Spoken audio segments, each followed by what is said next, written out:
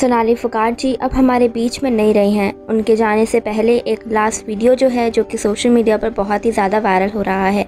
आपको बताते चले कि सोनाली फुगाट इस दुनिया में नहीं रही हैं। नशे को ओवरडोज दिया गया था उन्हें। सोनाली फुगाट का अब आखिरी वीडियो सीसीटीवी फुटेज में सामने आ चुका है, जिसमें देखा जा सकता है कि वो कैसे नशे की हालत में जा रही हैं। सीसीटीवी से पता चलता है कि सोनाली फुगाट की हालत बेहद ख़राब है। सोनाली के साथ उनके पीए सुधीर सांगवान भी हैं।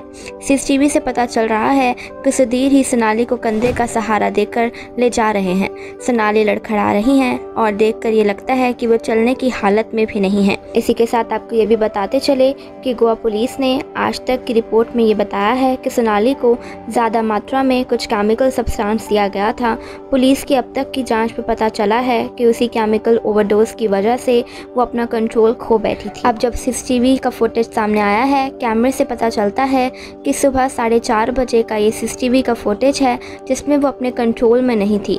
उसके बाद उन्हें वॉशरूम में ले जाया गया था। बताया जा रहा है कि तड़के सुबह चार बजे से अगले दो घंटे क्या हुआ, इस बारे में अभी तक कोई जानकारी नहीं मिल पाई है। उन दो घंटों में अगर सोनाली फुगाट की हालत खराब थी तो क्या किया गया? उन्हें तुरंत हॉस्पिटल क्यों नहीं ले जाया गया? ऐसे तमाम सवाल जिनके जवाब गोवा पुलिस तलाश कर रही है, इस दुख के समय में हम उनके साथ हैं। आप लोग क्या कहते हैं? आप लोग हमें नीचे कमेंट में ज़रूर बताएँ।